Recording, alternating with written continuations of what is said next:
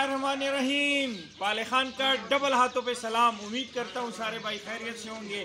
आज 9 जनवरी 2022 है और आप देख रहे होंगे कि हम मुर्गों को नहला रहे हैं, लेकिन गर्म पानी से, ठंडे से नहीं।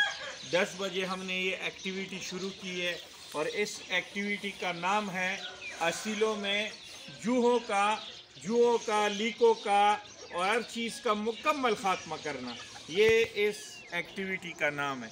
तो ये एक्टिविटी हम हर पंद्रह दिन बाद अपने फार्म पे करते हैं, ठीक है? क्योंकि आजकल ऐसी कम वक्त लीकें निकली हैं, जुएँ निकली हैं। पहले तो गर्मी में होती थी, अब ये सर्दी में भी आपका पीछे नहीं छोड़ती। इसका डायरेक्ट नुकसान क्या होता है कि ये असीलों से खून पीती हैं, ठीक है?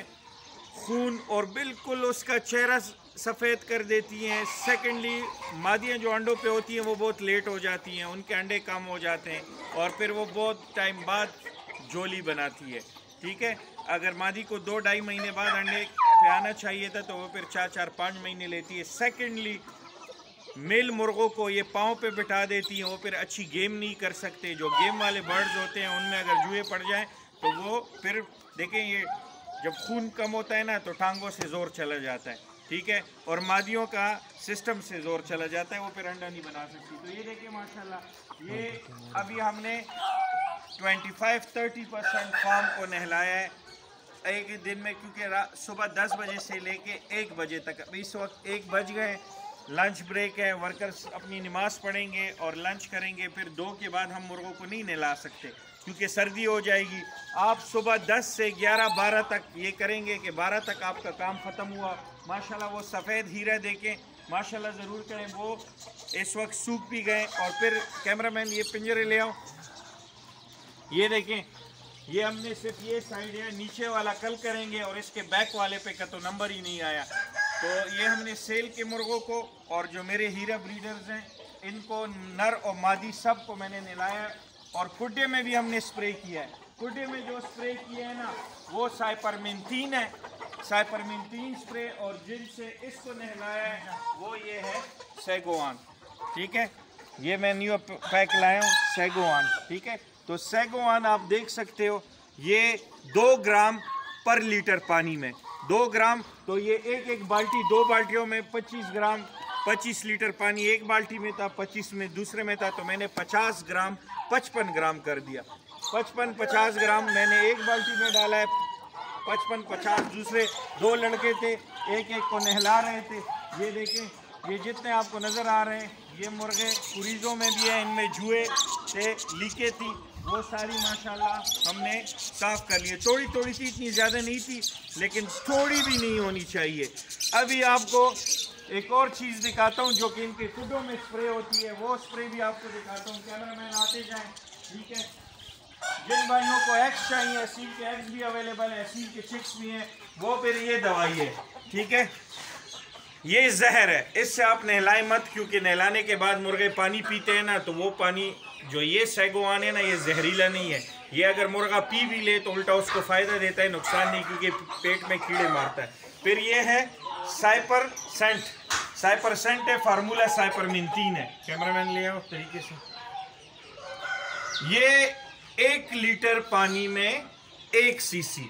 अगर आपने स्ट्रॉन्ग बनाना है तो फिर आप दो सीसी पर लीटर भी डाल सकते हो या ना डेढ़ सीसी ये बिल्कुल दूध जैसा पानी हो जाएगा ठीक है? ये लिक्विड होता है लिक्विड वो पाउडर है और ये लिक्विड है। ये लिक्विड आप पानी में डालोगे तो हमारी जो मशीन है ना वो 20 लीटर है।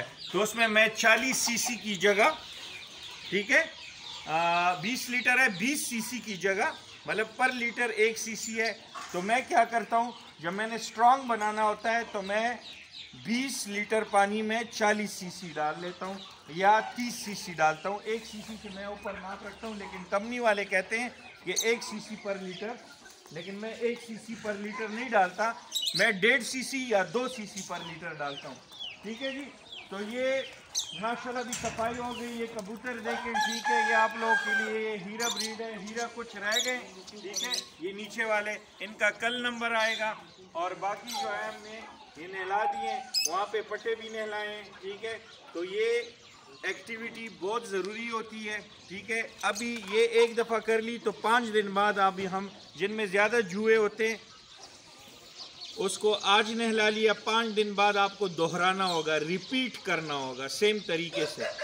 जिनमें जुए नहीं हैं, या कम है, या बहुत तोड़ें तो उनको एक बार आप महीने में नहला दें तो उनके लिए काफ़ी है।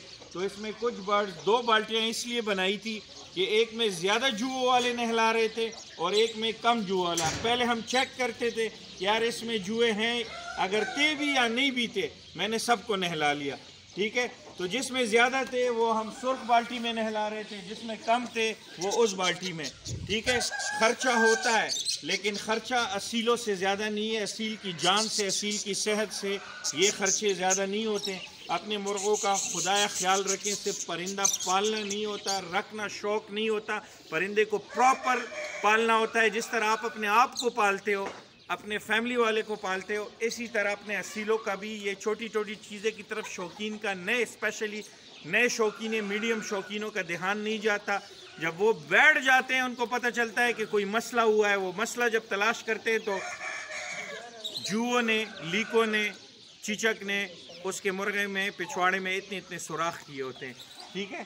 तो ये बहुत ख्याल रखा करें, ठीक है? और चैनल को लाजमी सब्सक्राइब करना है आपने, ठीक है?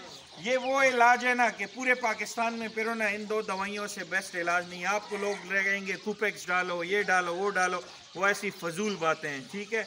और इसके अलावा दूसरी दवाई भी काम नहीं करती। आपके पाले खान भाई ने कि हाँ जब ये दवाई लगी है ना तो उससे पहले उसने कितनी दवाइयाँ टेस्ट की होंगी, ठीक है?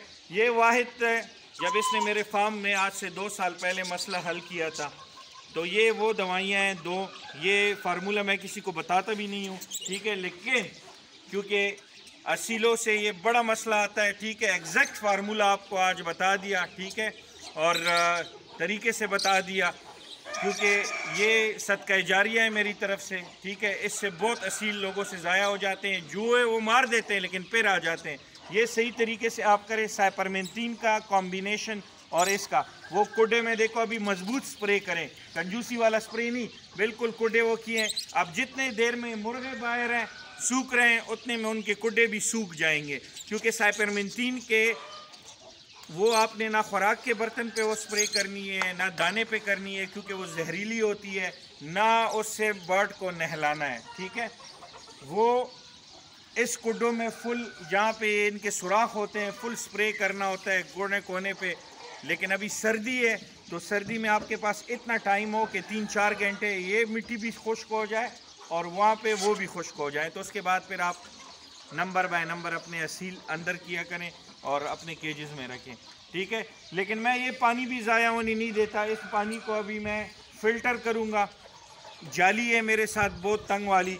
वो जाली लेके सारे जुए उसमें रह जाएँगे जो मरे हुए झूले और उसके बाद मैं क्या करूँगा, ये ज़मीन पे ये स्प्रे इस्तेमाल करूँगा, क्योंकि ये भी आप एज अ स्प्रे भी इस्तेमाल कर सकते हो सैगोवान ये एज अ स्प्रे भी इस्तेमाल कर सकते हो, और स्प्रे का नाम है डेढ़ ग्राम पर लीटर। दो ग्राम पर लीटर नहनाले के लिए भी डालें, और दो ग्राम पर लीटर स्प्रे के लिए भी डालें। लेकिन इसका स्प्रे इतना मज़बूत नहीं है जितना साइपर मेंतीन का है, ठीक है? तो ये जब दोनों की कम्बिनेशन होगी और अगर आपकी मिट्टी गंदी है बहुत तो पहले बेस्ट ये कि आप मिट्टी चेंज करें स्प्रे करें साइपर मेंतीन से यहाँ पे मुर्गों को नहला दें। ये तीन चीज़ें होती हैं। देखो, या जुए आपके मुर्गे के अंदर होंगे, या वो कुड्डे और मिट्टी के अंदर होंगे। तो मिट्टी और कुड्डा सोर्स है और वो आपका मुर्गा सोर्स है। तो इसको इकट्ठे साफ़ करना है। ये नहीं कि आपने मुर्गे को साफ़ कर लिया, कुड्डा फिर भरा हुआ है। आप जैसी मुर्गा डालोगे साफ़ करके, उसमें अगले दिन फिर कुड्डे से आएँगे। तो एक, अब मेरी मिट्टी पुरानी नहीं थी, मेरी मिट्टी नहीं है, क्योंकि दो तीन महीने पहले, दो महीने पहले चेंज की है और डेली उसकी सफ़ाई होती है, उसमें रीफिलिंग होती है। तो मिट्टी मैंने चेंज नहीं की, लेकिन मैंने कुड्डों में मज़बूत स्प्रे किया है, ठीक है? और उसके असील बाहर हैं तो तब तक उसकी स्मेल भी ख़त्म हो जाएगी और ये बहुत डिटेल में समझाया है। वीडियो लंबी हो गई, लेकिन इसमें भी फिर भाई कोई पूछ लेते हैं कि यार, वो स्प्रे का क्या नाम था? और वो दवाई का क्या नाम था? वो कितने सीसी एक लीटर में डालना है? उसके बाद भी कुछ भाई पूछते हैं तो वीडियो को गौर से देखा करें। अगर एक दफ़ा आपको समझना है तो दोबारा रिवाइंड कर का ऑप्शन है। दोबारा करें नेट तो फ्री होता है हर जगह, ठीक है? तो अपना बहुत सा ख्याल रखें टिकटॉक पे मुझे फॉलो करें पाले खान असील्स मेरी आईडी है टिकटॉक पे, सेल वाली, जिसमें मैं सेल के मुर्गे दिखाता हूँ, पाले खान असील और पाले Khan Aseel seven eight six.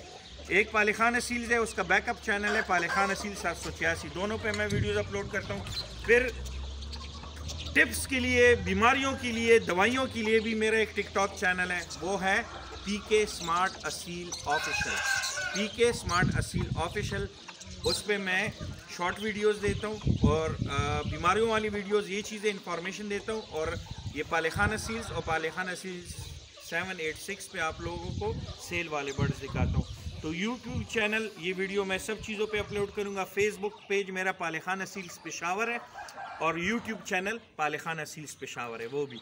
तो अपना बहुत सा ख्याल रखें। लव यू ऑल इस्लाम जिंदाबाद, ते पाकिस्तान जिंदाबाद, ते मेरे सारे social media friends, fans, friends, cousins, भाई सब, जो भी हैं, छोटे, बड़े, बुज़ुर्ग, सब जिंदाबाद। जजाकल्ला अल्लाह हाफिज़। Thank you